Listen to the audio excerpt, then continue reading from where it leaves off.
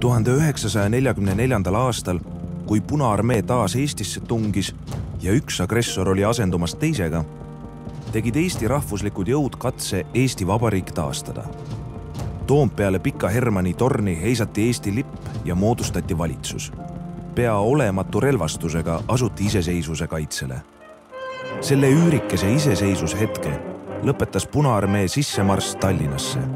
Eesti langes pooleks sajandiks Nõukogude võimu alla mälestus vabast Eestist hõõgus edasi isegi kommunistliku hirmuvalitsuse ja vale keskkonnas. vastupanu osutasid metsavennad, seejärel vabadusvõitlejad, kes vanglat trotsides astusid välja inimõiguste ja kodaniku väärikuse eest.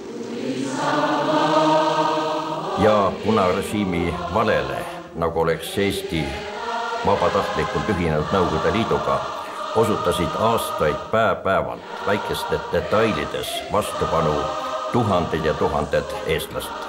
tuhande üheksasaja neljakümne neljanda aasta iseseisvuskatset meenutatakse kahekümne teisel septembril vastupanuvõitluse päevana, mil peetakse meeles kõiki, kes jäid Eesti Vabariigile truuks ka kõige raskematel aegadel ja olid vabaduse nimel valmis ohvriteks ning kannatusteks